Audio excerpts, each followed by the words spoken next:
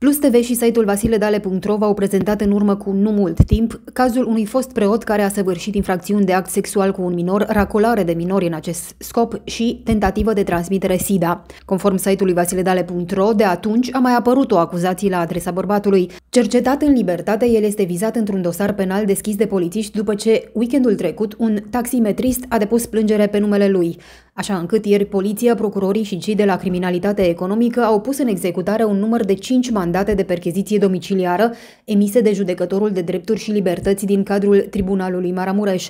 Este vorba despre un dosar având ca obiect presupusa comitere a infracțiunii de evaziune fiscală.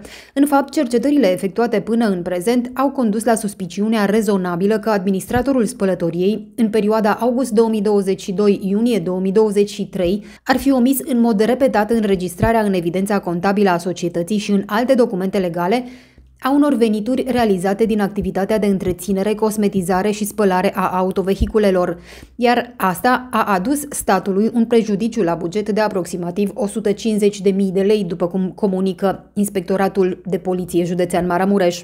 Cu ocazia activităților procedurale desfășurate, polițiștii au identificat și ridicat diferite înscrisuri contabile și extracontabile utile în probarea activității infracționale și au indisponibilizat medii de stocare IT, respectiv telefoane mobile, memory stick și alte dispozitive de stocare a datelor ce pot constitui mijloace de probă. Poliția mai declară că totodată au fost indisponibilizate sumele de 34.700 de euro și 12.500 de lei, fiind indicii că acestea provin din săvârșirea infracțiunii de evaziune fiscală.